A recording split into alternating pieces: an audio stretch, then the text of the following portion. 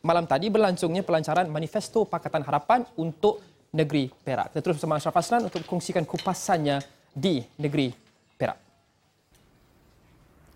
Well, terima kasih rakan segas di Bukit Kewangan Kuala Lumpur. Lintas langsung dari Ipoh uh, Perak Darul Rizwan, negeri kelahiran saya ini dan uh, bermulanya hari ini secara rasmi bertugas uh, bagi sepanjang uh, tempoh uh, Malaysia memilih 2018 uh,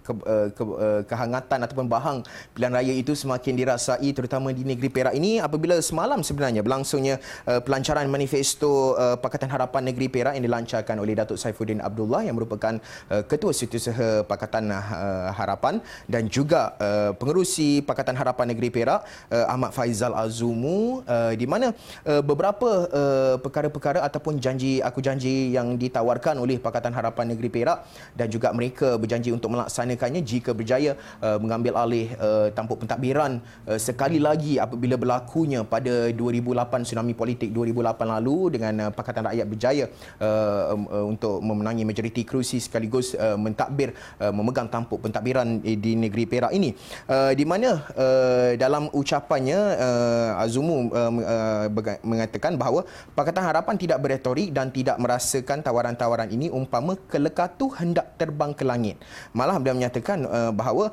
pihaknya Pakatan Harapan turut beriltizam dengan apa yang telah digariskan dalam kesepakatan Pakatan Harapan dan uh, beliau menyatakan bahawa pihaknya uh, serta seluruh jentera dan juga mereka adun-adun yang dipilih uh, oleh rakyat uh, berjanji untuk uh, melaksanakan uh, janji-janji tersebut Uh, supaya uh, ianya uh, di mana uh, janji-janji yang telah uh, mereka uh, kemukakan ini uh, uh, akan dilaksanakan dan juga uh, mentadbir uh, kerajaan negeri Perak yang uh, mereka cintai dengan sebaik yang mungkin uh, demi untuk rakyat. Uh, di mana uh, beliau antara perkara lain ataupun uh, kandungan manifesto tersebut uh, mengandungi uh, lima uh, teras utama serta sepuluh uh, dasar uh, tumpuan. Di mana jika boleh saya kongsikan sedikit di dalam uh, pamphlet ataupun buku uh, kecil ini uh, di mana antara perkara yang dikongsikan oleh uh, mereka termasuklah dari segi kebajik, uh, kebajikan dan ekonomi rakyat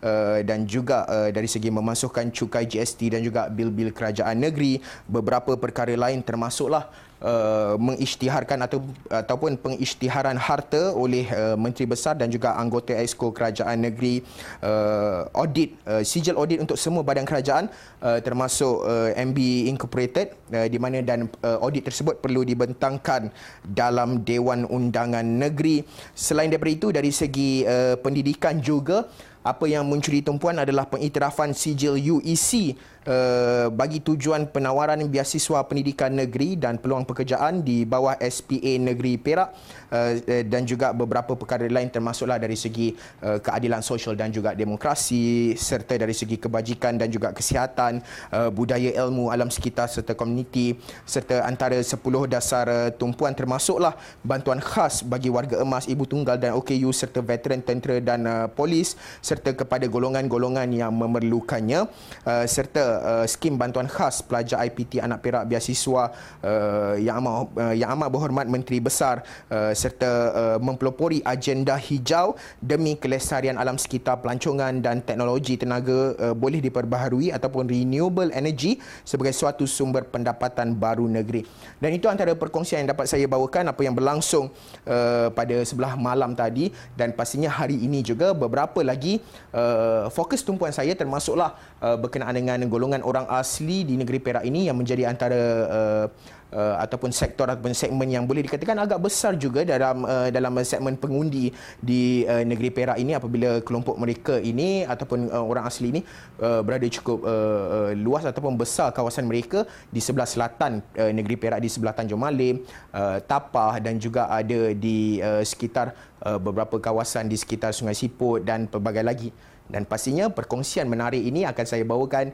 sepanjang Malaysia memilih 2018 langsung dari negeri Perak. Sekian saja dahulu uh, lintas langsung dari Ipoh Perak ini kembali ke Bukit Kewangan Kuala Lumpur.